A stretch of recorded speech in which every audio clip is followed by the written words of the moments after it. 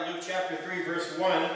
It says, Now in the fifteenth year of the reign of Tiberius Caesar, Pontius Pilate being governor of Judea, and Herod being tetrarch of Galilee, and his brother Philip, tetrarch of uh, uh, Ituraeus, and uh, the region of uh, Trachonitis, and Lysanias, the tetrarch of Abilene. Annas and Caiaphas being the high priest, the word of God came unto John, the son of Zechariah, in the wilderness. And he came into all the country about Jordan, preaching the baptism of repentance for the remission of sins. As it is written in the book of the word of Isaiah the prophet, saying, The voice of one crying in the wilderness, Prepare ye the way of the Lord, make his paths straight. Every valley shall be filled, and every mountain and hill shall be brought low, and the crooked shall be made straight, and the rough way shall be made smooth, and all flesh shall see the salvation of God. Then said he to the multitude that came forth to be baptized of him, O generation of vipers, who hath warned you to flee from the wrath to come? Bring forth, therefore, fruits worthy of repentance, and begin not to say within yourselves, We have Abraham to our father. For I say unto you that God is able of these stones to raise up children unto Abraham.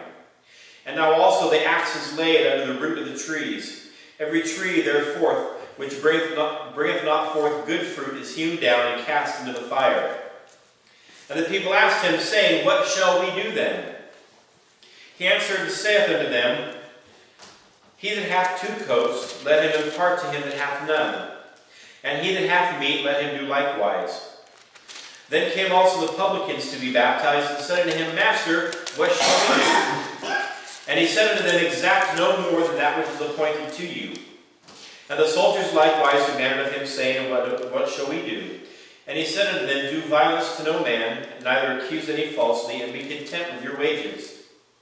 And as the people were in expectation, and all men mused in their hearts of John, whether he were the Christ or not, John answered, saying unto them all, I indeed baptize you with water, but one mightier than I cometh, the latchet of whose shoes I am not worthy to unloose. He shall baptize you with the Holy Ghost and with fire, whose fan is in his hand, and he will thoroughly purge his floor, and will gather the wheat into his garner, but the chaff he will burn with fire unquenchable. And many other things in his exhortation preached he unto the people.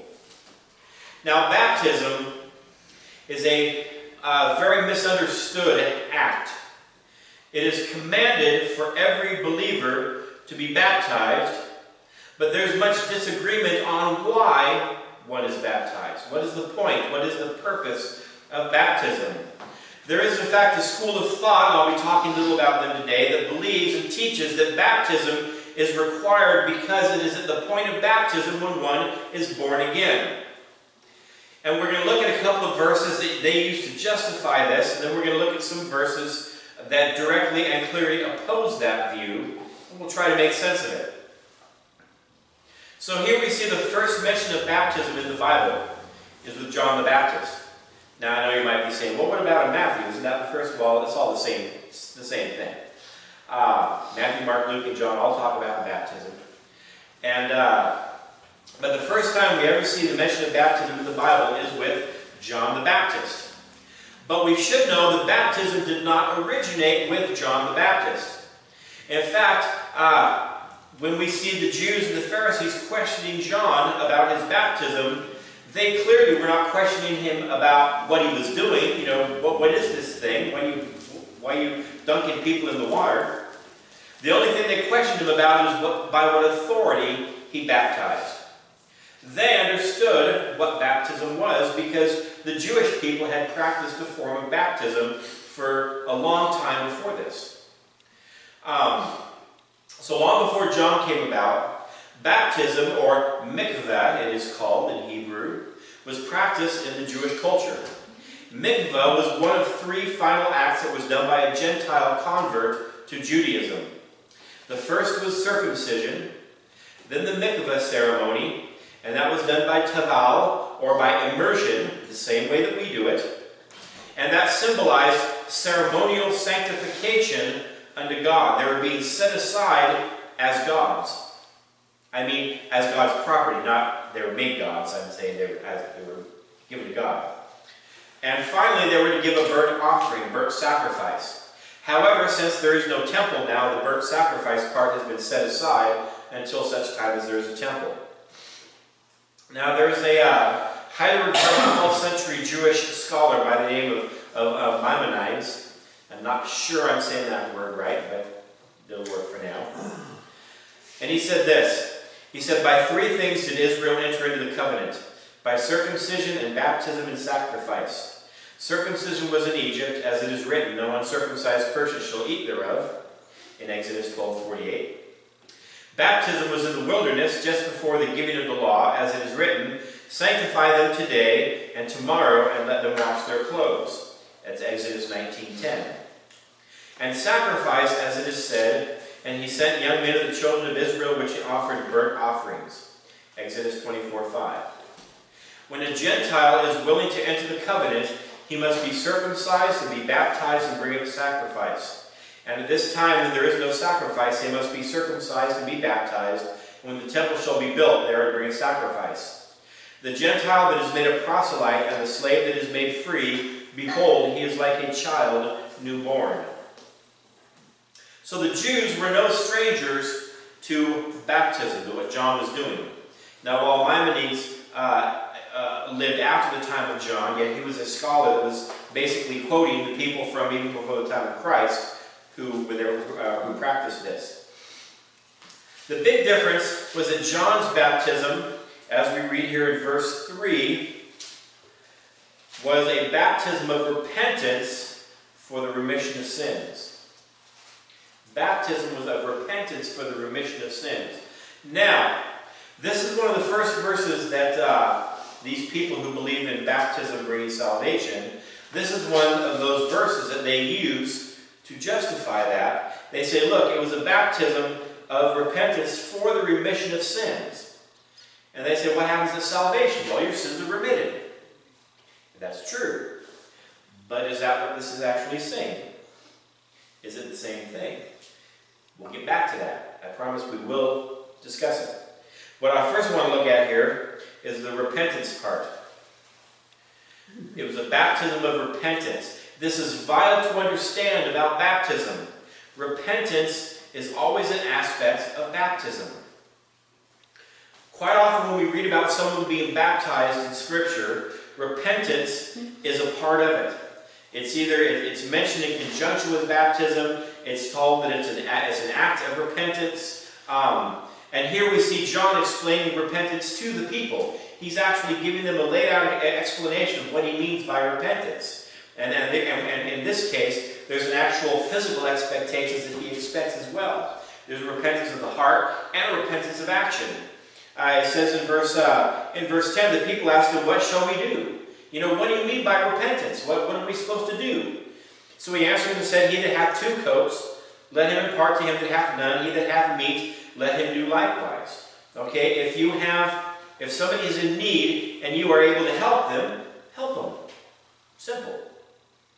Then came the publicans. These are the, these are the collectors of tribute for, for uh, the Romans. They said, What shall we do? And they probably figured he was going to say, Stop working for the Romans. But that's not what he said. All he said was, Exact no more than that which is appointed to you. Or in other words, don't take from anybody more than what is expected from them. Okay, this is the amount that they're to pay for tribute. You know, two shillings, whatever it might be. Um, a denarius, uh, I don't know, whatever they were using at the time. Um, don't say uh, five denarius and then keep four for yourself and give one to the Romans.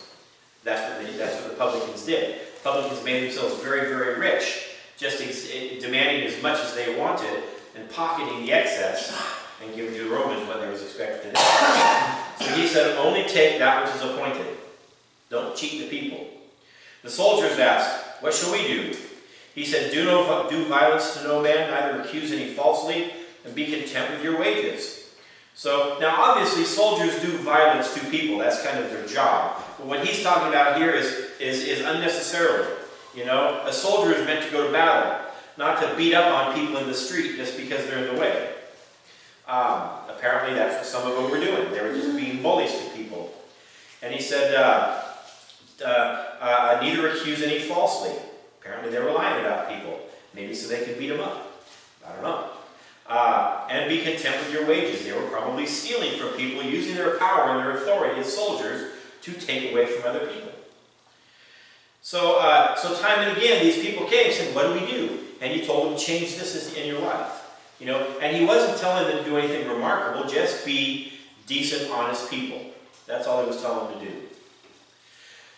And of course, in verse uh, in verse nine, he says, "Every tree, therefore, which bringeth not forth good fruit, is hewn down and cast into the fire. So produce good fruit in your life. Live as one who has repented unto God." So repentance, they were to repent. That was the whole aspect of John's baptism. It was a baptism of repentance. Now look over at Acts chapter 2. Acts chapter 2.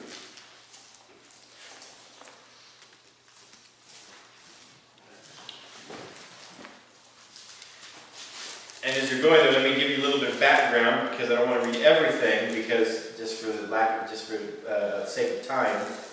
But uh, here, this is the day of Pentecost, and uh, Peter and the apostles have preached to the thousands of people here who were in Jerusalem for the day of Pentecost. And when the people who were there listening, uh, some of them were convicted by what they had heard, and they believed what Peter was saying, but they didn't know what to do with this information. So in verse, uh, uh, verse 37, it says, Now when they heard this, which is what Peter had just preached unto them about Christ, they were pricked in their heart. That means they were convicted by the Spirit. And said unto Peter and to the rest of the apostles, Men and brethren, what shall we do? Then Peter said unto them, Repent and be baptized, all of you, in the name of Jesus Christ for the remission of sins, and ye shall receive the gift of the Holy Ghost. Now, here is another of the proof texts for those who say that baptism is when you get saved. They say, look, see, get baptized for the remission of sins, and you'll receive the Holy Ghost. There it is. You get baptized so that your sins can be remitted, and then you receive the Holy Ghost. That's what they'll tell you.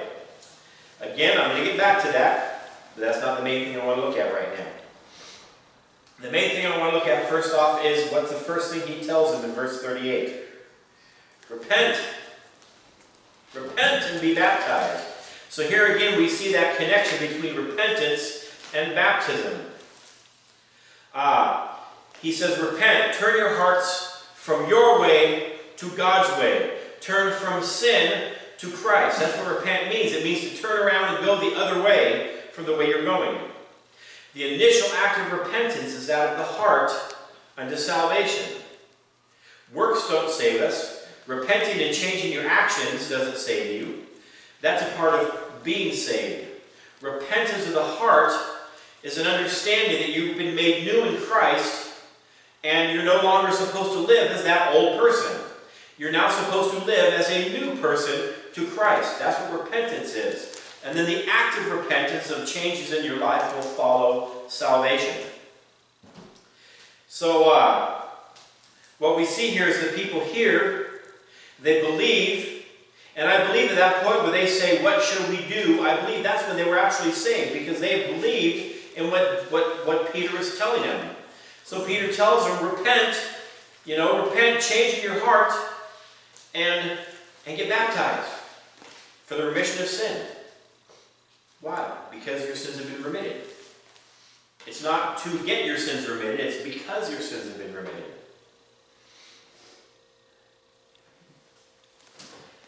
Now, I want to speak on a moment again on the idea that salvation occurs at baptism. We've seen twice now about baptism seeming to confer salvation or remission of sins. And while I don't believe this is what, and I, I, this is why I don't believe it, uh, it happens that way. The first time that we mentioned it was in John's baptism. That could not refer to forgiveness to eternal life. Does anybody have any idea why? Why could John's baptism not give eternal life? There's one very specific reason. It's not a trick question. Anybody? Do you? Christ hadn't died yet. Because Jesus hadn't died yet. We are born again by faith in Christ and what he did on the cross, right? That's how we're saved. We must have the blood of Christ shed at Calvary applied to our sins, and thus his righteousness is applied over our unrighteousness. That's how we're saved. When John was preaching, Christ hadn't died. So that remission of sin could not be eternal life. So what was it? What was the remission of sin? Well, I'm not 100% sure. It could be probably two different things. One, it was either a temporary forgiveness for your sin for that moment, which before Christ died, you could ask for forgiveness of sin, and usually you had to give a sacrifice as well. But as soon as you sinned again, you had to do it again. That one sin was forgiven, but as soon as you sinned again, you that was it. You had to be forgiven again. It was a continual offering of sacrifices and work to keep the law in order to try to stay forgiven. And nobody could be forgiven fully there. That's why Christ had to die. If anybody could have been saved through John's baptism, then Christ would not have had to die because then everybody could just get saved and have their sins remitted then. Um, so, so it was either that, or it was a it was a forgiveness of sins that looked forward to when Christ would die and our sins would be forgive, would be fully remitted. But it could not be salvation at John's baptism. Now, what about Acts chapter 2? It seems pretty clear. Okay, this is after the death, burial, and resurrection of Christ. So why couldn't it be that? Well, uh, Remember, the faith which they clearly already have is what saves. They had faith when they said, Men and brethren, what shall we do? The faith was already there. They just didn't know what to do with it. So Peter said, Repent. Okay, get your heart right before God. Understand you're a new creature. Change your ways. Change your direction in your heart and then be baptized because your sins have been remitted. And you're going to receive the Holy Ghost. Now, we have to understand that what, what, when Peter says this, he is not giving a pathway to salvation. Step one, step two, step three, boom, now you're saved. That's not what he's giving. He's giving just a general overview. They already believe. Okay? Repent, get baptized, receive the Holy Ghost. All these things are going to happen right now. It's not a, a, a map. It's, it's, it's, a, it's a concurrent activity of what's happening right then. But again, repentance and baptism very closely related there. Now, uh, I want to show you one more thing here that'll prove very clearly that, that, that this could not have been the case. Uh, and uh, one other thing I want to point out, at the time of, of Pentecost, and for a little while after that, the receiving of the, of the Holy Ghost was not the way it happens today. And there was a reason for it. At the time, oftentimes when the Holy Ghost was given, right at the beginning of the church time, right, at, right here in the beginning of Acts, the Holy Ghost did not always come directly on that person at the time of salvation, which is what happens today. What would happen is that the, is that the, the apostles would lay their hands on people and they would receive the Holy Ghost. Now, why did it happen that way? This was not the pattern for all time. It happened then in order to show the authority that God had given to the apostles and to this new movement of the church. It was not something that was going to go on all the time. And we can see because very clearly, shortly after this, people are receiving the Holy Ghost without the laying on of hands. But in, uh, in Acts chapter 8, uh, if we remember Simon the, uh, Simon the sorcerer, who he, he believed and got baptized and followed after the apostles. And he saw them laying hands on people and then receiving the Holy Ghost. And he wanted to be able to do that. Now, that's not a bad thing. He wanted to do it, it wasn't his job. And he didn't understand how to receive that power. And so he tried to buy it. And of course, the reason he did that wasn't because he was lost, as some people say. It was because he had spent his life as a sorcerer. How do sorcerers get their power? They buy it. They purchase spells. They purchase talisman. They purchase uh, uh, power words and things of that sort. Am I not right? Yeah. Wife who used to be in the New Age knows some of these things. you spent money to advance in magic. He was a brand new Christian. He didn't know any better yet. So he just did what he'd always done. Hey, I give you this, you give me the power to do that. He wanted for a good reason. Now Peter slapped him down real quick for it, made no, in no uncertain terms, told him just how wicked it was that he did that. And he asked for forgiveness, which is a good thing. That's why I believe he was saved. But um, the point is that they were laying hands on people and they were receiving the Holy Ghost. But now look over at Acts chapter 10, just two chapters after that. Acts chapter 10.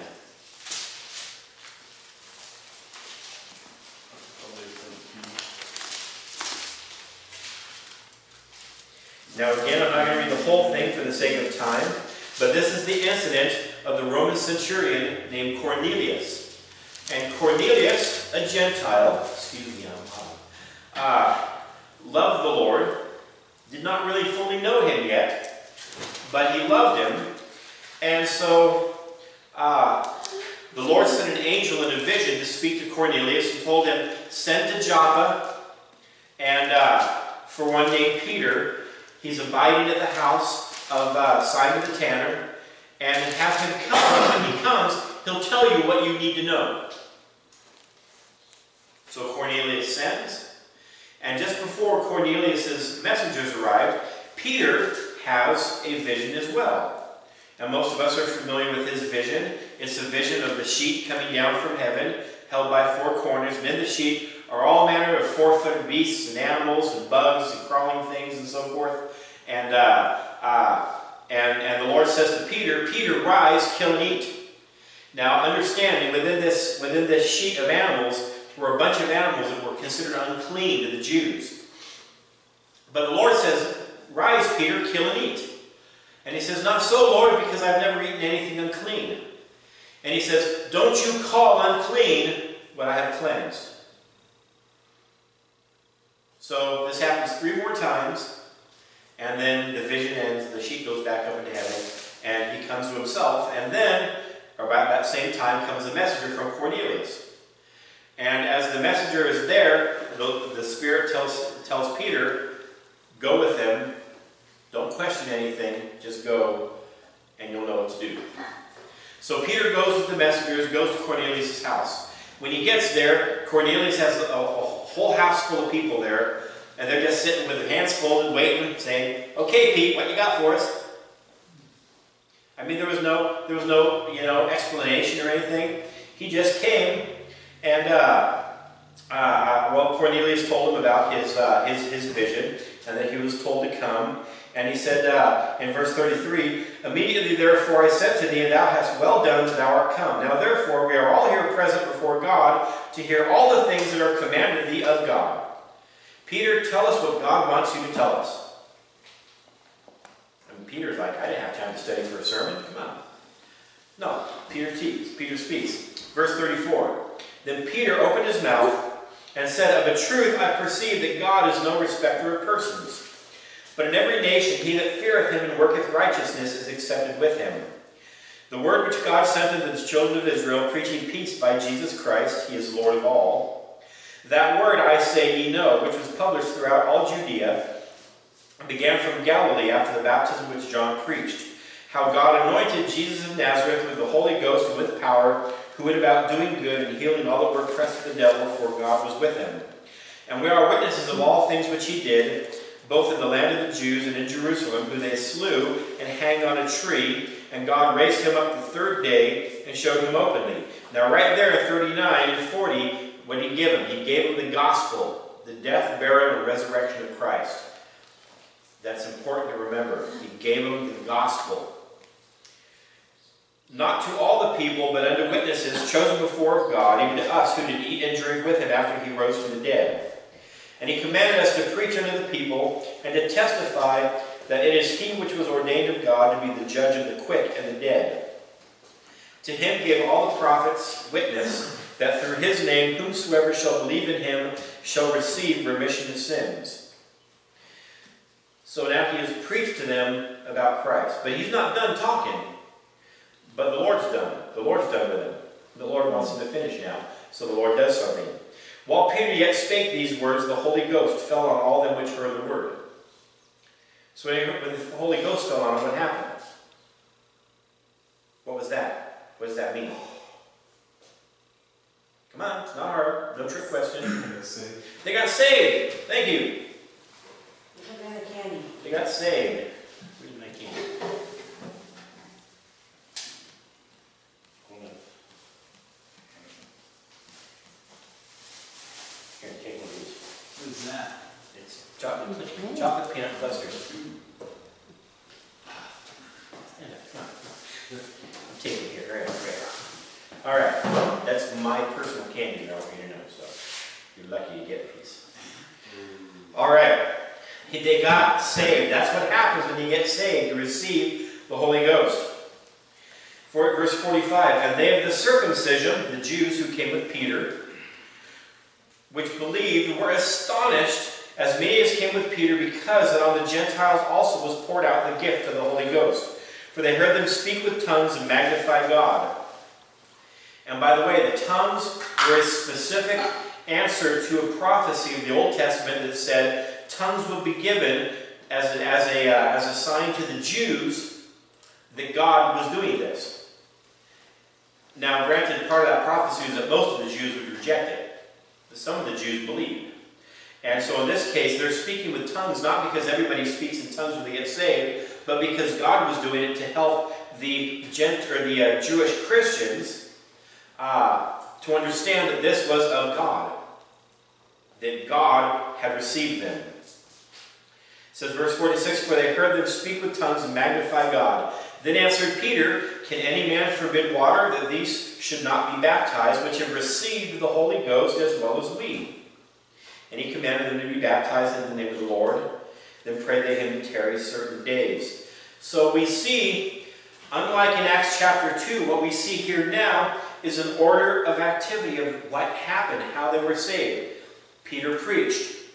He gave them the gospel, which is the necessity to salvation. You've got to hear the gospel. As they heard, they believed, and that belief was sufficient that they then received the Holy Ghost at salvation. They were born again. Now, again, they spoke in tongues for the sake of the Jews there, so that they would understand that God was doing this. And then they were what? Baptized. Baptism was the last thing. After they were saved. They believed, their sins were remitted, they received the Holy Ghost, they got baptized. Here we see a very clear layout of activities. Now in Scripture, when you have different accounts of things that are the same thing, but some of it is hard to understand, but other times it's very clear, you always define the harder to understand version by the easy to understand one. So here we have a very clear layout of exactly what happened. Boom, boom, boom. Step one, two, three, four. That has to go back and define what happened in Acts chapter 2. Clearly, they were saved the same way, especially because Peter says that they have received the Holy Ghost as well as we. Same way. So clearly, they all received the Holy Ghost before they were baptized. They were born again the same way. So, going back to those who believe that baptism brings the new birth, this clearly disagrees with it. Um, I went through all these notes and didn't even read. Uh, now, uh, I said that I would explain why I was not as uh, faithful as I should have been in this baptism. Um, oh, I want to also remind you, though, first, the, the, the Holy Spirit, the jobs of the Holy Spirit is number one, He, he indwells us when we're born again. He seals us to the day of redemption. So He keeps us. Uh, we, that's why we can't lose our salvation, because the Spirit seals us until the day of redemption. Not seals us until we sin again and mess up and He leaves us. No, He seals us and keeps us. The Bible says that, uh, that, uh, that He teaches us things. He brings to our remembrance things that we have heard that we need to know when we need to know them. Um, he comforts us and strengthens us to do the work of God. So there's a lot that the Holy Spirit does. And one of the things that He has called is He has called the earnest of our inheritance. Now, what does that mean? An earnest of inheritance means that He is the token that was given to us that proves to us that we are going to receive an inheritance of God. A picture of that would be a, uh, a uh, an engagement ring. You give an engagement ring as an earnest to the to the bride to be that you are. It's a promise made that you are going to marry her. It's a, it's the beginning of the covenant. It's kind of the, the the opening part of the covenant. It's an exchange of a gift, and that gift means I'm going to marry you. Well, that's what the Holy Spirit is. He is the promise given to us, the token that we are going to be fully redeemed by Christ and we have eternal life. So the Holy Spirit would not come upon these people in Acts chapter 10 if they weren't saved. So, as I said, the reason I feel that I wasn't as faithful as I should have been in this baptism, or really in a lot of it that I've done here, and uh, one of the things about being a pastor is that you're always learning. And sometimes you learn things that kind of have to uh, push away things that you've taught in the past, and then you got to try to fix that because you did something wrong before. This is one of those cases. Um, the biblical example that we are given of baptism is baptism happens immediately after salvation. They believe, they get saved, they get baptized. It's not you believe, you get saved, you give them six months to make sure they're a good person and saved, and then you baptize them. You get saved and baptized. It happened on Pentecost. It happens every time we see baptism mentioned. It is always mentioned immediately after salvation. We see when uh, in Acts chapter 8, when Philip is, is sent by the Holy Ghost to go out into the wilderness and meet up with an Ethiopian eunuch who had been at Pentecost for the feast. And uh, he had been there worshiping, so apparently he was a convert to Judaism himself. Um, now, this Ethiopian eunuch was an important man in the Ethiopian court. He was the keeper of the queen's uh, treasury.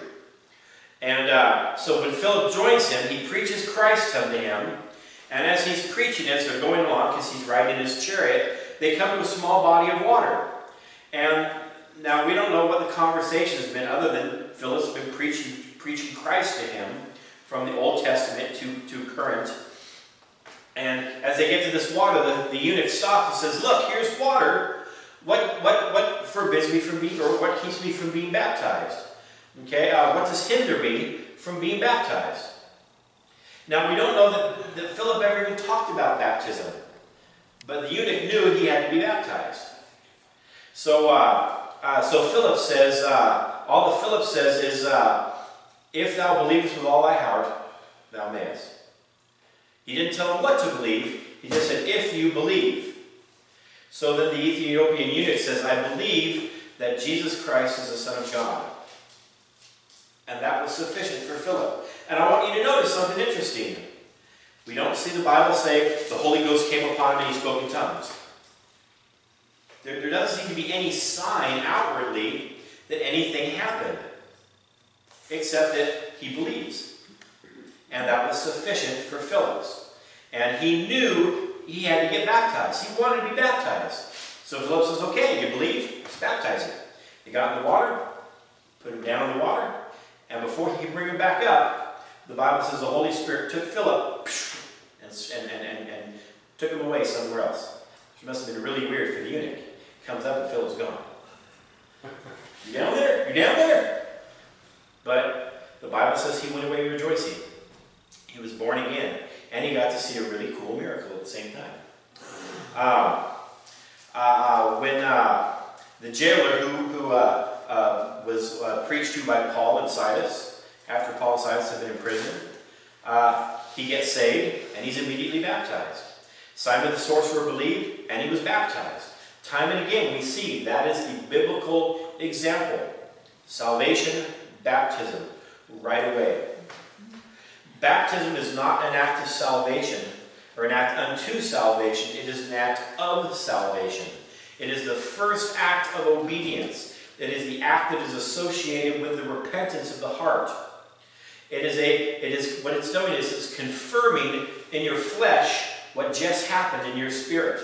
And if you wait too long between the two, you, you kind of miss the connection.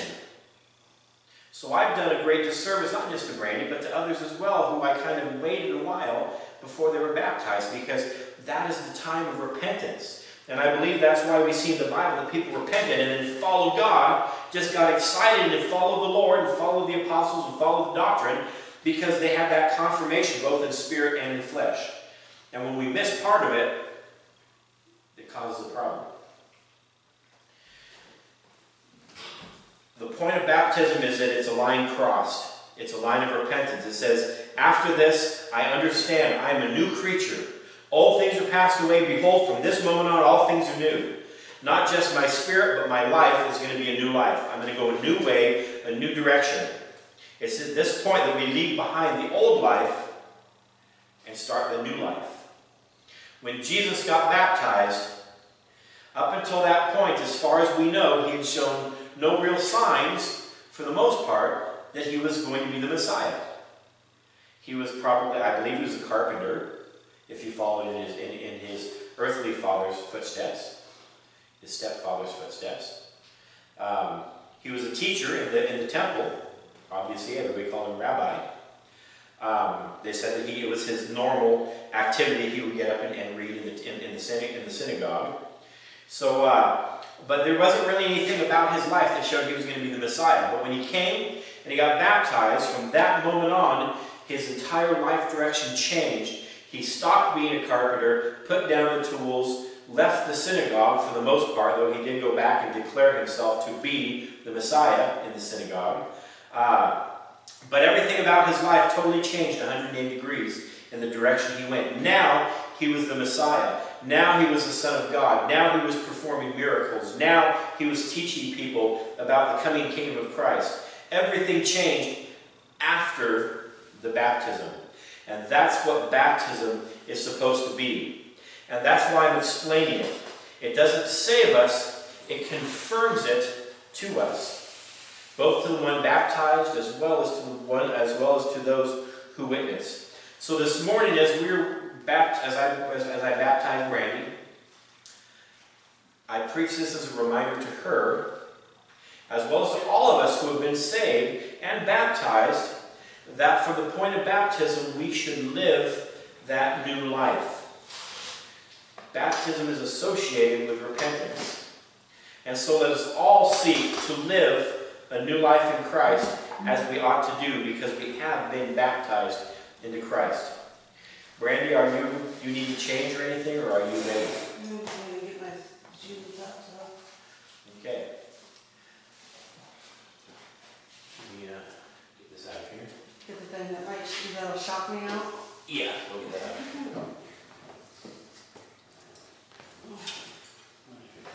Andrew, would you turn the camera around just so we can, so I can see it? We're not, we're not quite done, Violet. We're not done, we're gonna baptize you. Oh, okay. That's where it was going. Oh, I'm sorry, I didn't mean to get in your way. Thank you. Turn it.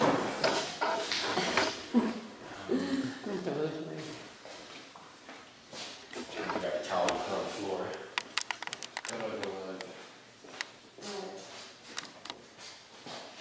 You gotta make sure it's coming over there. Oops. Keep coming around. It's all right, some There you paper. go. You just press, start by with your, You okay? and my.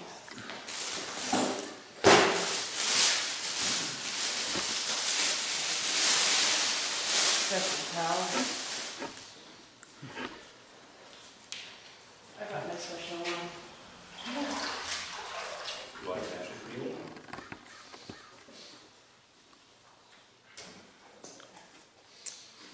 I was that anything. Doesn't matter. You want to come over here? Something off if you need.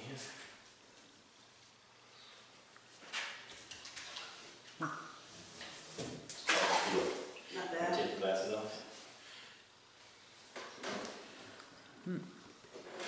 Okay, what you're gonna do is you're gonna, you're gonna kneel down as close to the front as you can.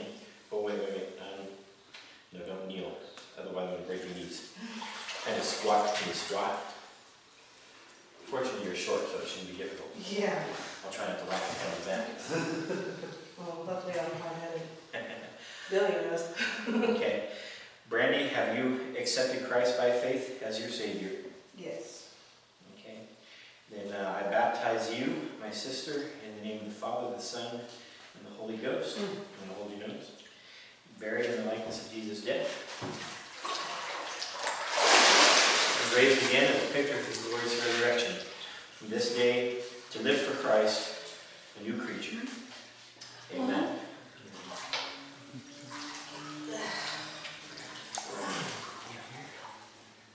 Hold on, I got.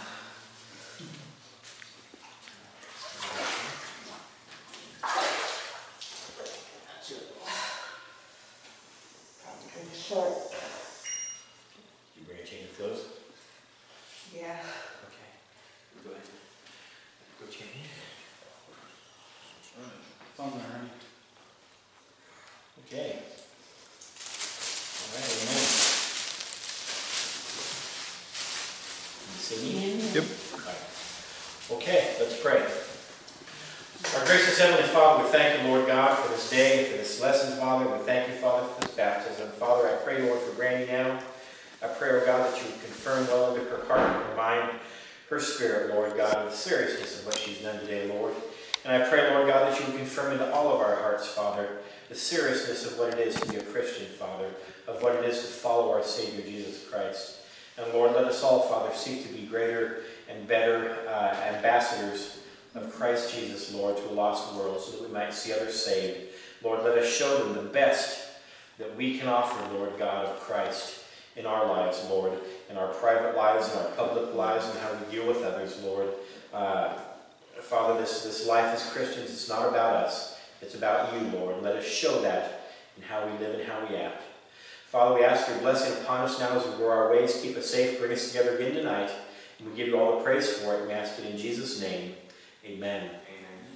Amen. Amen. Thank you. You are dismissed. Service 6 o'clock tonight. And uh, you're dismissed.